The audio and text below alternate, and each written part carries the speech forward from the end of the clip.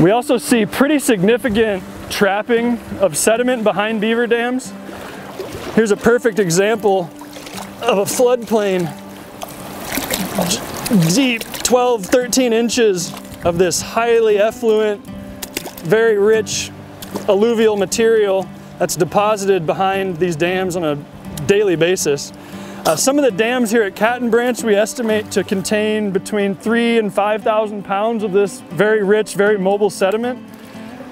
If this wasn't retained by the Beaver Dam, it's very likely moving downstream very quickly into the Des Moines River and eventually down into the Mississippi Delta.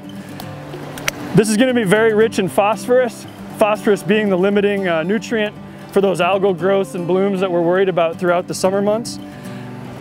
Really, we're just trying to strike a balance between what the beavers do in the landscape, how they can contribute to some reduction of what we do in the landscape, and how we can cooperate with them. Like how does a normal person not just say, isn't that just mud? Right.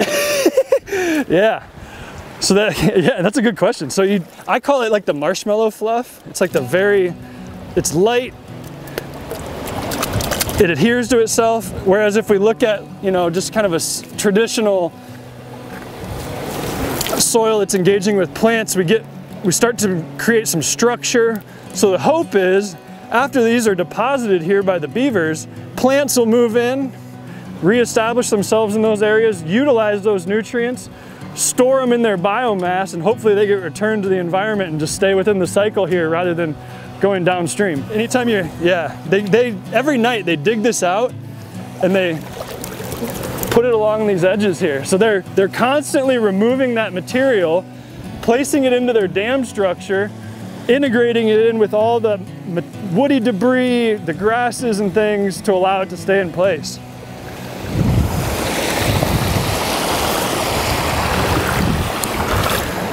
Sweet. That's very cool. Yeah. Let's try to head down for